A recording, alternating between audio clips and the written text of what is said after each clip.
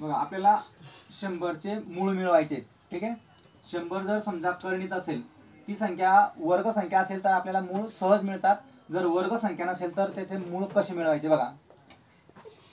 आता या संख्येचे अवयव पाडायचे हिचे अवयव सहज मिळतात आपल्याला दहा गुणिला दहा असे करून पण मिळतील. बघा दहा गुणिला दहा केला तर दहा दहा शंभर.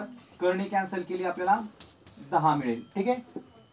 शंभरचं मूळ आपल्याला सहज या पद्धतीने पण मिळतंय आपल्याला. परंतु जर समजा आपण त्याला तिथं एक वर्ग संख्या आणि एक कोणती पण संख्या घ्यायची असेल तर त्या पद्धतीने पण आपण तिचं मूळ काढू शकतो. ठीक आहे? बघा.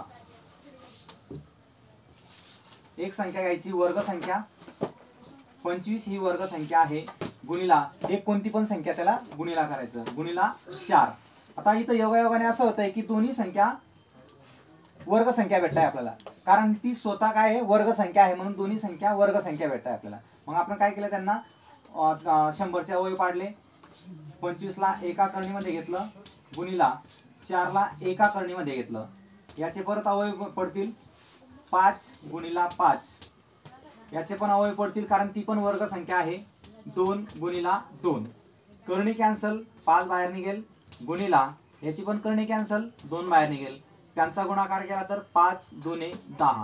म्हणजे कोणत्याही पद्धतीने आपण जर सोडवलं तर आपल्याला शंभरचे मूळ काय मिळ- मिळतील? दहाच दहा. मिळतील. ठीक आहे?